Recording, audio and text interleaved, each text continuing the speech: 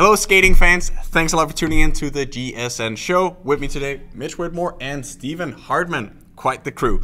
Today, we have a bunch of exciting news for you guys. We got some trials coming up, we have some past results, we got some unofficial world records, and so much more. Thanks a lot for joining. Let's get down to business. Yeah, as Vic mentioned, we have Steven Hartman with us.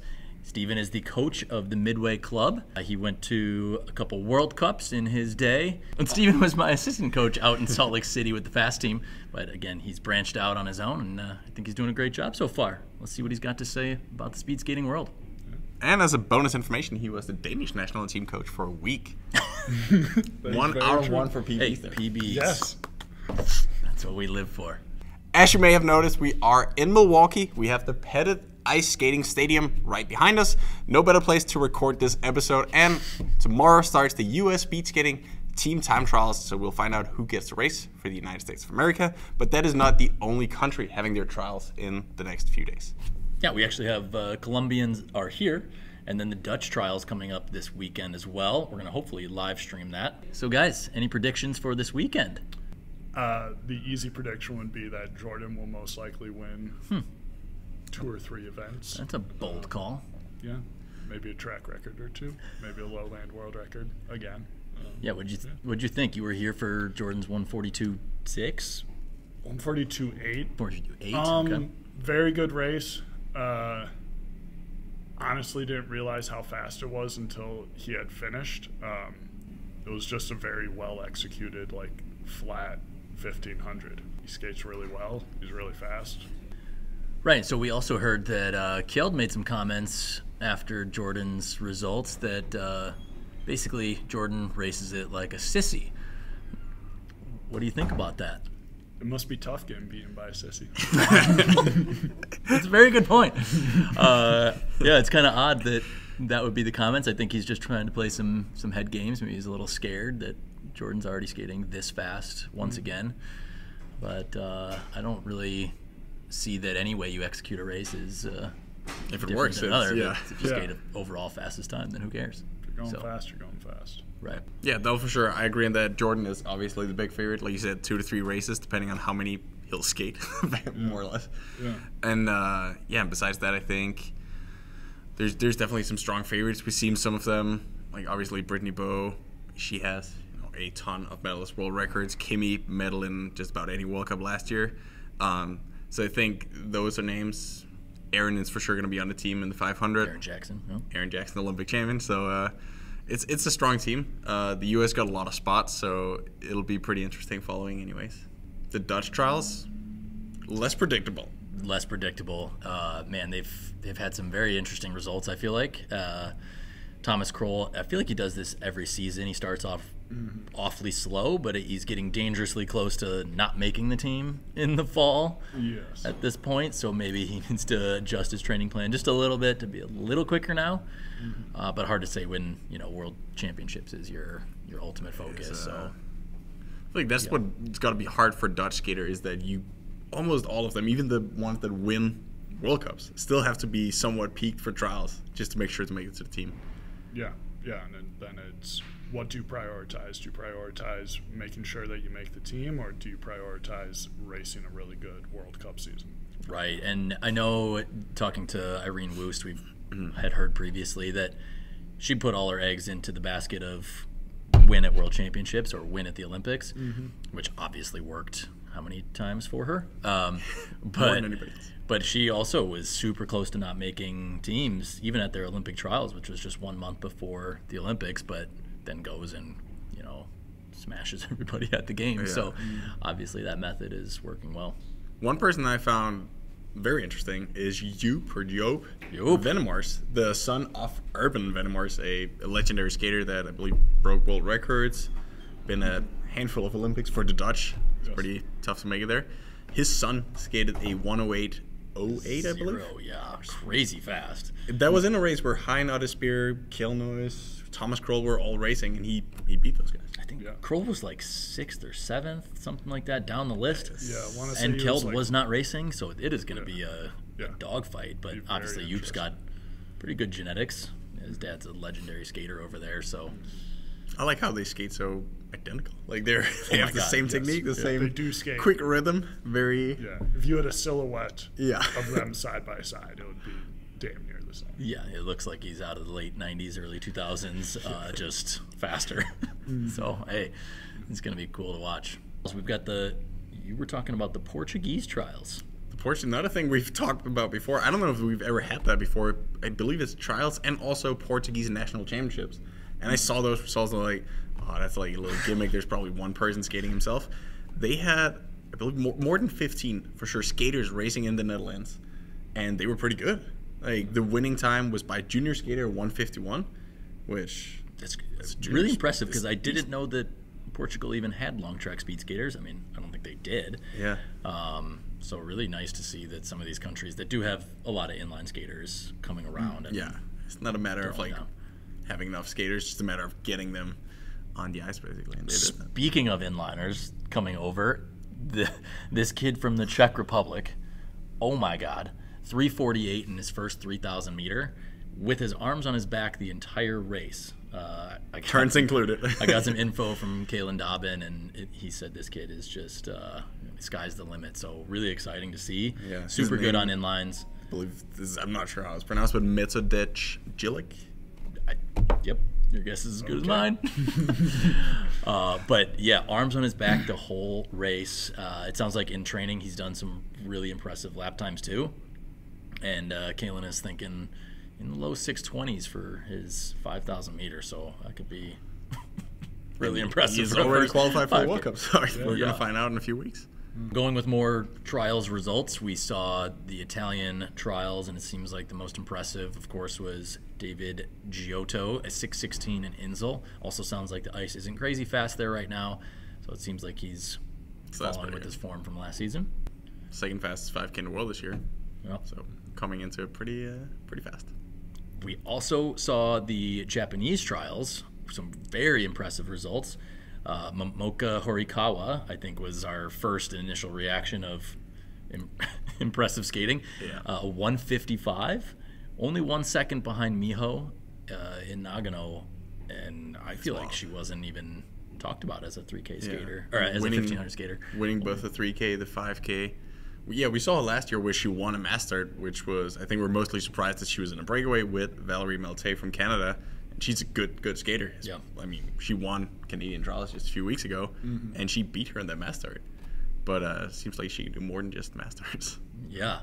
And uh, on the men's side, we saw Tatsuya throw down a really, really fast one. Yeah. Steven, what do you think? It's one of my favorites. It's your boy. I'm stoked. Tatsuya is my favorite 500 meter skater. Um, he seemingly has been in a, a bit of a slump for at least last season, a little bit the season prior, but he's back. The big boy is back. He's skating fast, and yeah, I'm just hoping if he gets to uh, Salt Lake that he can hold an inner turn. Yeah, and we wanted to have Tatsuya as our skater highlight of the week because uh, I think he's probably Steven's favorite skater at the moment. Um, and he's had quite an interesting career. He's had a 34-0 in Heerenveen, which was insane. Arguably the best race ever. Yeah, one of the that's most like out there races at the time. And then he's also had some downs, right, at the Olympics. Uh, was that the race where he fell off the line or slipped I really bad? say he towed or slipped like three, four steps off the line. Yeah. Um, yeah. the- earlier that season, he fell and fell in a reskate of Yeah, his right. initial 500 going into the first turn. He slipped and fell. Um, so yeah, he's kind of up or down, but when he's on, he's on. Uh, Yeah. I mean, 33.79 in Salt Lake. Like he's a he's very impressive when he's Yeah, he had that world record for a short period of time, Yep. uh, only to be beat by Pavel. But uh, yeah, he's a real boomer bus skater, and it's so exciting to watch when he's cranking like that. Yeah. So it looks like a 34-4-0 in Yes. Nagano. I mean, Yeah. that's uh, that's an exciting start to the season. So It is. should be fun to watch at World Cups. especially when they race in Nagano because there's been so many World Cups there that it's very easy to compare these times to you know the rest of the world. Um, and we also saw another great skater there, Seitaro Ichinohe. He broke the track record in the 1500 meter. That is impressive because Yeah. that is not an easy one to get. They had the Olympics. They had I don't know, just over the last ten years, maybe five World Cups there, Yep. and he broke that at a national competition, a 144 low, I think.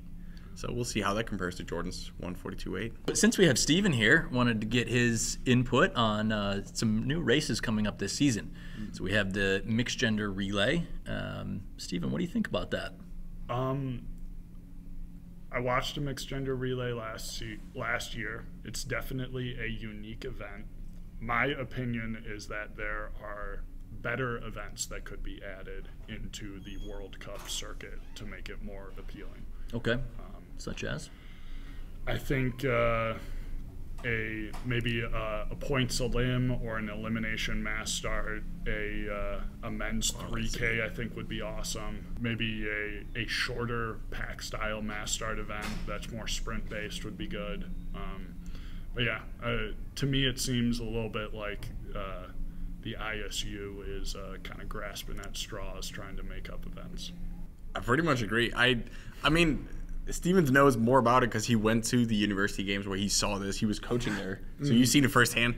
To me, the idea of like a man, I imagine Laurent Dubreuil, Jordan Stolz coming out of a 22 something lap and then pushing a tiny girl into a turn, and then I could see a lot of people getting hurt here. Yeah. Um, but also, we can't really like. We need to see it at a World Cup first, but I I do agree. There's a lot of races we know that work. I mean, kids do these mass start races all the time. Yep. Would basically a mass start, but just more exciting. Or a, or a 3K it would be a cool thing where we could see middle distance and long distance skaters battle it out and do like wild lap times for it. Still short and intense. Probably really close race also. Yeah, my thought on the 3K is that just the range of skaters that you would have competing in it would be fun, and then also the different styles that people would be racing in. You'd have a 1500 specialist trying to go out at high sixes, low sevens. You'd have more 5K specialists trying to hold flat races. Like Yeah. it would just make for very fun races, very fun. Yeah. Yeah. Speaking of the 3K, uh, Ethan Cepuran did set a track record here in Milwaukee as well this last weekend, 340. Um, I, that track record has been broken many times by a lot of skaters really trying. Brian Hansen, Jonathan Cook, Chad, Shani.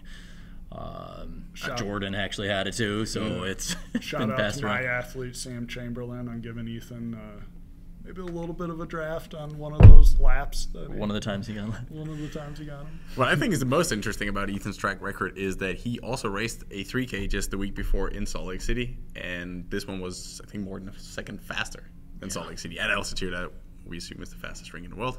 So Milwaukee is not bad, especially with a good tailwind. The good air pressure day. It can be fast. Yeah, I think it- there's a lot of other events that could be a better bet. Um, yeah, again, I stayed in speed skating because of the pack races on long track. Felt like horse racing. Um, nice combo of short track and long track, essentially. Um, those were super exciting, um, and I've been pushing for that flying lap. So hopefully Yeah. we can uh, get that organized for Flying maybe the lap, Salt I- Lake World Cup. I do Wow, think would exciting. also be very fun, very uh, Formula One esque. Yeah. Okay, so to cover our trivia from last week, Vic, what did we have? The country with the most official long track skating rinks is Norway. Despite the size of it, they have basically a rink per 100,000 people up there. 42 rinks across the country. Yeah, so our trivia question for the week is uh, which long track athletes have won both world sprint and world uh, all around championships during the course of their career? I'm not counting Jordan yet. But he is working on it. Yes, he is seemingly working on doing both in the coming seasons. Uh, yeah, put up a nice 5K a few weeks ago, and uh, obviously a very good 1500 last week to uh, kind of solidify himself, I would say, as the favorite, despite having never skated a 10K, which is awesome. he is going to be exciting to watch on the adults calendar where you combine all distances and see how fast your PBs are. I feel like he could actually get that thing just because he'll be so far ahead. Uh, not just sprints, but middle distances. Yeah, you think if he throws down a 33 in the 500 this year, potentially under 140 in the 1500, he's got a pretty good lead on the current holder is Patrick Roest, and I don't know if he's going to need to go too fast in the 5 or 10K, but he's already shown a 623 in the 5K, Um, and talking to Bob, his coach, that uh, he's been working on the 10K without giving away too much insider info, but uh, yeah, he's definitely putting some 10K efforts out there. Yes. Good luck, Patrick. Yes, I've heard some some some numbers of lap times and should be interesting to watch when we get to all rounds. I really love that he's going for it at this point in his career. Um, I think now's the time to do it, and as he gets older, he can narrow the focus more and more if he needs to. But um, you know, we haven't seen something probably this impressive uh, since Heiden. So This reminds me a lot of Shani Davis, actually. He did the same thing at a young age. I entered the sport of long track speed skating after that whole thing. So I only learned later when, like, knowing Shani, like, that's the 500,000 15 dude, that he has won worlds all rounds also and skated a 13 10 6 10 5K. Yeah. So, uh, you know, Quite the some good, good skater. good footsteps, but he is he's on it. Yeah. And if you want some uh, a little advantage, you can see our top ten male skaters of all time, and there's actually quite a few in there that have both sprints and all arounds back before they had a world single distance championship. So be sure to check that out for inside info. now that we're talking about skaters that can do a little bit of everything, the next one we cannot not mention Angel Daleman. Armin, do you have any idea who that is? No. Well, that's why we're going to talk about her. Yeah, so uh, Angel Daleman was first last year at Junior Worlds in the overall. Long and- track. Long track, yes. Yeah, so first place as a Junior B, which in and of itself is crazy. Um, and apparently she is at the Short Track World Cup this season as well. That'll be super exciting to see uh, not just how good she can get, but what she decides to be good at, basically. I, I've seen that she has already done some time trials on long track as well, but it seems like she's more focused on short track for this part of the year. Um, but I'm interested to see if she's skipping the second World Cup and going back to do the long track trials. What's going to happen? Kind of like a Jorien ter Mors situation, but uh, she's already doing both World Cups, or at least at that level, and she's again a. I think she's at first year A now. So we've got another Jordan Stolz or ter Mors on our hand. From switching from sport to sport, there is also some news when it comes to switching from country to country. We got Elizaveta Golubeva. She switched from Russia to Kazakhstan, which is pretty exciting, and she's been skating a 156 in Astana. So, um, I mean, we've known her for winning medals at the World Cups in the 15, the mass starts, the team pursuit as well. And as we all know, the Russians can't skate right now, but she found a nice loophole there, and she is seemingly representing Kazakhstan this year. Right. I wouldn't be surprised to see more skaters also switching to Kazakhstan since they also speak Russian and it's, pretty right next door. by, So yeah. It's- uh, they're coached by Russian. Uh, Yeah. At least the sprint team is. So yeah, that's uh, she's a good skater. Yeah, definitely. Kazakhstan's recruiting. So Vic, we've also heard about some new changes to the mass start at World Cups. Yeah, there is no longer semifinals, which in a way could be nice because then we don't have to race two masters every time. Instead, they put it as an A and a B final, which also could be a little sad because it is going to be difficult making sure that we have the best skaters in the A final at every World Cup. Because if you skip one, you'll miss out on some World Cup points, and then you know the A final consists of the 20 or 24 skaters with the most World Cup points as we go into that World Cup. So let's say some of the best skaters skip World Cup one or World Cup two, they'll be in the B final or the B mass start for the third World Cup. So that's a little sad, but. I assume this is from the ISU's point of view. They're trying to make more people skate the mass start, and we did see people like Connor Howe last year skate a 5K, a 15, and a mass start all within 24 hours. And we could hope for Jordan to one day give this a shot. He would definitely be one of the best guys out there. And maybe this is ISU's attempt to like it's not a whole day thing. It is really just 16 laps. So they hope that we'll have more people in that A final, but we'll see how that goes. What do you guys think about? it? I like the idea. I- If they're gonna get rid of the qualifying round, I would like them to get rid of the preem laps. But um, I do think that in terms of making it more accessible for individuals that are racing other events at the World Cup, it's a good idea. Um, I know Joey's talked about the how difficult it was to. I think they did. double yeah, double TP. up on 15s, TPs, thousands, all in the same weekend.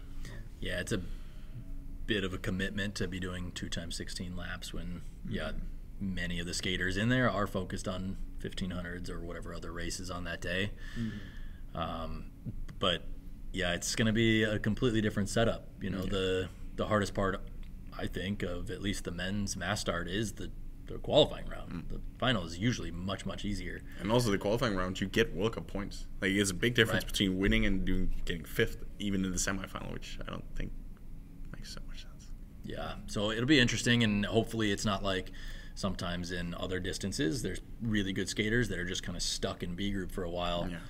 For one reason or another, the point situation, or if somebody gets DQ'd, they could be stuck in B group all season. Or a crash. which you know, to me a lot of just- unforeseen things. Yeah, not not going to be good. The Um, one thing I really fear the most is that I, I am scared that this will help the stronger skating nations even more. Like it will create a big difference for smaller nationalities, smaller countries, and bigger countries in skating for two different reasons. Um, the first of them is that every World Cup up until this point, we've gone into each World Cup, all countries being even. And you have one skater from, from every country in each semifinal. So there's no team skating unless both skaters make it onto the final. Whereas here we will see most likely a lot of teams that'll have two skaters in the final and other teams that'll have one or zero where that for the big countries that will for sure send skaters to every world cup they could have a little advantage there another thing that we saw the isu just do recently for the season is that they increased the times to qualify for the mass starts by 10 seconds for the men and the women that It's confusing. Uh, it really doesn't make sense to me, and hopefully either that's a typo or that's uh, you know some sort of a mistake. But it seems like it's going to alienate a lot of the smaller countries again. But that makes it. That's the odd part to me because they've been doing such a good job of trying to include more small countries, especially people from inlines. You know, there's so many that transfer over. They need their first introduction, and some are just not as good at time trial racing in comparison to how good they are in a pack. So, I don't really like that rule. And again, hopefully it's just incorrect or it gets changed at some point. But Yeah. um, I mean, from from my own counting, we're gonna miss uh, up to ten different nationalities or nations at the World Cups this year just because of that rule change. Um, I will admit that there's been times where I've been a little bothered by skaters not maybe having the, the level I feel like they should have and skated masters with them. Yep. But we also just separated into an A and a B, so I feel like that would be a natural way for them to enter a master that won't be as fast, and then you know, It's a great point. Yeah, no, Yeah. especially now with the A. Yeah, B that would make it a lot You would think Yeah. that have as many as you want and be, you know. Yeah. And the good skaters should rise to the top. Maybe you add more people that get elevated to A group, Mm. um, just to make sure that people are still able to move up.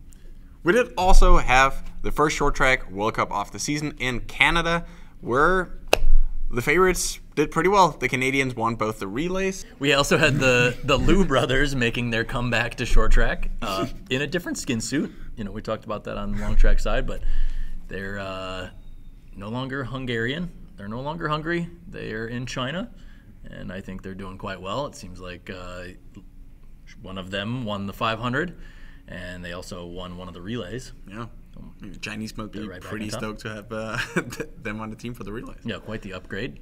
They've already got uh, the Chinese men already have some good skaters, but the Liu brothers are uh, a couple of the best in the world, so they're they're moving right up. We also saw some of the usual suspects, like we anticipated: Kristen Santos, uh, Hanne Desmet, and uh, a few others were Sandra good. Took the 500 meter world record holder. That was expected as well. So we'll see what happens in World Cup two this coming weekend. Also in Canada. That's about it here for um, for the GSN news episode. Hope you guys want to share this with all your skater buddies. Hope you want to subscribe. Hope you want to leave a comment. Tell us everything we said that was not correct, and also give us just a heads up if uh, if there's anything we should mention in the next episode. Thanks a lot. Thanks for tuning in. Thank you.